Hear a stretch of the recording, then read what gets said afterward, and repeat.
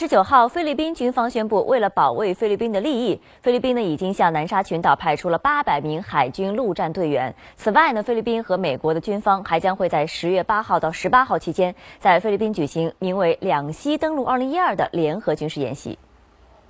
据法新社消息，菲律宾新派的士兵将在南沙群岛附近进行巡逻，但不会驻军。菲方还专门组建了海军陆战旅，地点靠近面对南海的西部省份巴拉望。菲律宾西军区司令萨班三十号宣称，此次部署仅是一项防御性措施，向南沙群岛派遣的两个营将共同担负起保护群岛的任务，因此不应被视作侵略性举动。另据菲律宾媒体报道，菲美军方将于十月八号到十八号在菲律宾举行名为“两栖登陆二零一二”的联合军事演习。对此，菲外交部证实，将有约两千六百名美军士兵以及来自菲律宾的超过一千二百名士兵参与此次演习。